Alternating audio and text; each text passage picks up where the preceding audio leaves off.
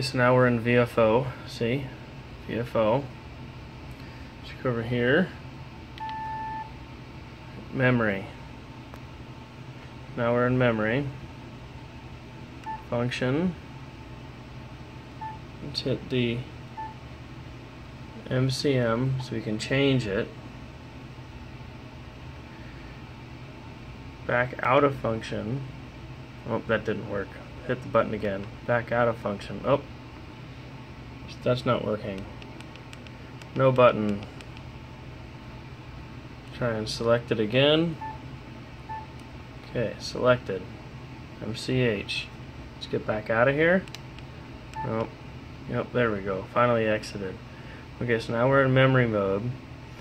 And it says MCH. And the selector knob does not move through the memory channels. No memory channels.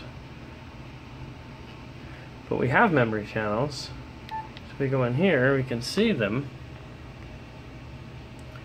There's those, and the memory knob does not work to go up and down there at all. Nothing.